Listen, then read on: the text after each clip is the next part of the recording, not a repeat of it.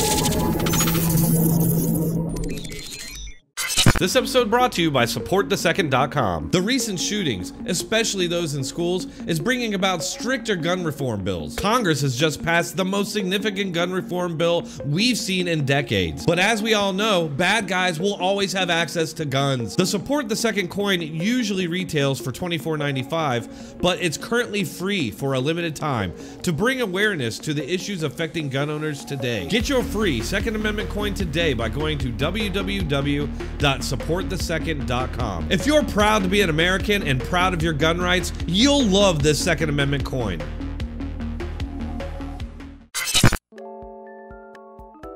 Hey everyone, welcome back. I'm just sitting here enjoying my coffee and adding on to the list of things that are supposedly racist now. And it's a big list. I mean, we got rugged individualism, the nuclear family, the scientific method, mathematics, having a work ethic, competition, the English language, Dr. Seuss, wearing your hair in braids, dressing up for Halloween, being colorblind, facial recognition technology, the Washington and Jefferson Memorial, voter ID laws, standardized testing, dress codes, and time. Yes, time is racist. I'm serious, this list just keeps going but there's more important things to life. So for now, we're just gonna have to go ahead and add traffic accidents to the list because why not? One quick side note, does anybody besides me notice how blaming white people for literally everything bad that happens in life is very similar to anti-Jewish conspiracy theories that do the same thing? I don't know, maybe I'm completely crazy here or it's just different when they do it. Anyway, it is the prerogative of semi communists in this country, apparently, to unite every group of people that isn't white against the white menace. And part of that is blaming every disparity that exists between black and white people specifically on a racist conspiracy against them. And it shows uh, a particular epidemic of traffic deaths, pedestrian fatalities in this country. And it's unique to the United States. Um, 6,500 people um, died in 2020 walking um, and being struck and killed. Those numbers are a two third increase over the last decade. Uh, and Sounds like an accident, not a racist conspiracy. Anyway. As a matter of fact, 2021 data is showing things are getting worse. But getting to your point, unfortunately, we see disproportionate deaths in Black, Latinx, Latino, um, and low income communities. As a matter of fact, blacks were two times as likely as non white Hispanics to die um, while walking in their neighborhoods. Um, so it's an obviously a white conspiracy. There's no other explanation for that other than a racist white cabal plotting secretly against black people in this country, obviously. Epidemic, it's having disproportional effects on black and brown communities but it is a solvable one, and we should we can talk about those solutions.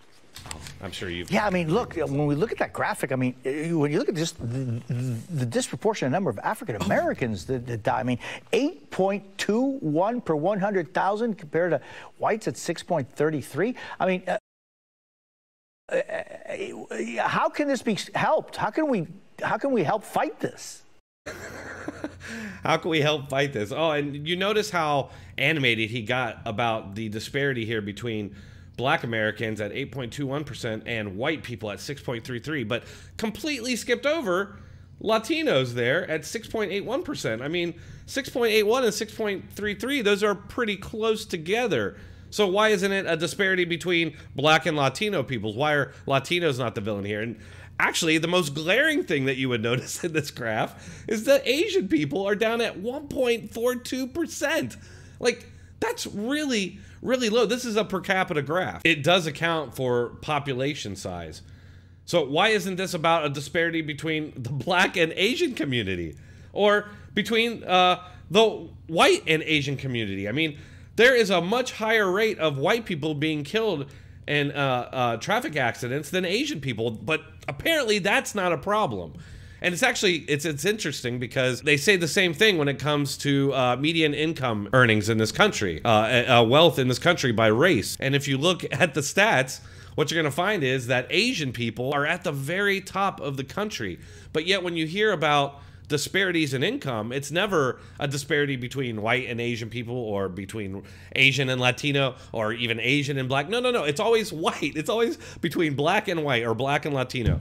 It's like they only want to talk about uh, a disparity that can somehow move their agenda forward. And their agenda is essentially race Marxism. I mean, they, that's why you hear so much about equity now instead of equality because essentially they want to use the law and the government to prop people up based on race, which will require uh, racial discrimination against white people to do. So that's kind of what you're seeing here. It's kind of like they're building the building blocks for that, the justifications for it. And of course, during this segment, they don't discuss any other possible reasons for this disparity outside of, you know, it's a white man racist conspiracy.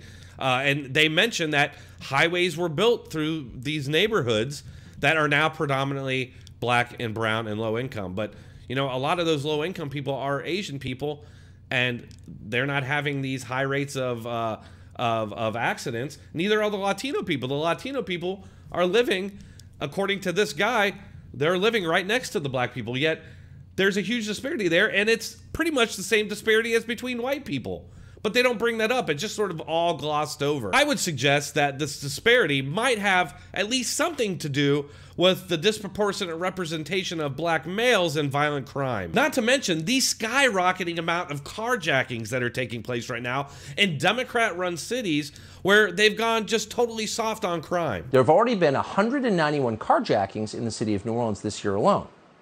Through all of last year, there were a total of 177.